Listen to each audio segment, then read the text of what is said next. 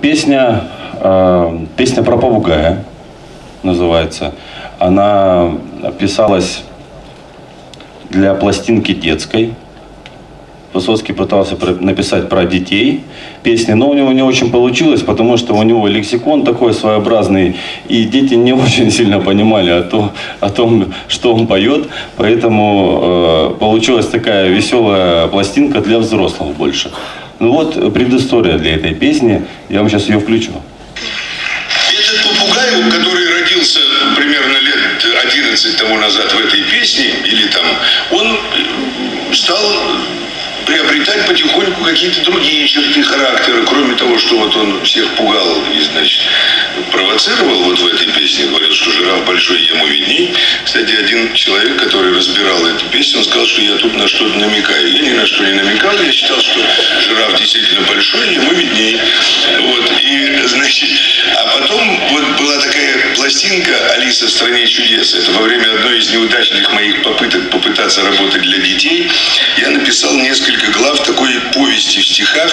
О детях называлась она там «Вступительное слово про Витьку Кораблева и друга закадычного Ваню Дыховичного». Значит, я принес это в детское издательство, прочитал. Они бегали все э, кругом и говорили, что вот чтобы я оставил. Потом я пришел, так вот э, оно там и осталось. Ну, и я решил все-таки, что нельзя как-то бросить это. Я очень хотел что-то для детей написать.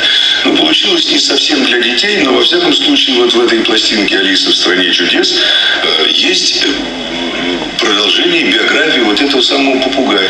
Этот попугай оказалось, что он пират, значит, плавал на пиратских судах. Я с этим попугаем знаком, на самом деле я его знаю. Так что вы спрашиваете, где вы берете темы? Да кругом. Вот я в Одессе знаком с попугаем, который э, разговаривал на всех языках мира. Действительно, может быть, ему было очень много лет. До 300 живут. Во всяком случае, он ругался невероятно. Иногда на непонятных языках, например, на старофранцузском, как выяснилось. Вот я про него написал э, продолжение. Там было такое... Ну, это вы не помните. И- кто-то, наверное, приобрел эту пластинку Алису в стране чудес, да? Послушайте все.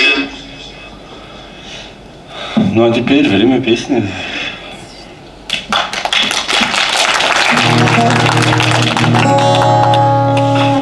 Послушайте все, ого-го, эгегей, Меня попугая пирата морей. Родился я в тысяча каком-то году в бананолиановой чащи. Мой папа был по попугай какаду, тогда еще не говорящий. Но вскоре, но вскоре покинул я девственный лес, взял в плен меня страшный Фернандо Кардес. Он начал на бедного папу кричать, а папа Фернанди отвечать, не мог, не умел отвечать. И начал я плавать на разных судах. В районе экватора северных льдах. Давали мне кофе, какао, еду, чтоб я приветствовал, хавду еду, а я повторяла зари до зари, харамба, коррида и черт побери.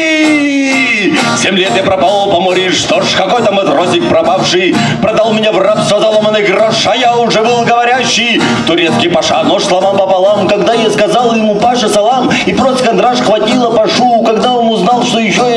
читаю, пою и пляшу. Я Индию видел, Китай, Ирак, я индивидуум, не попка дурак, так думаю только одни дикари, харамба, коррида и черт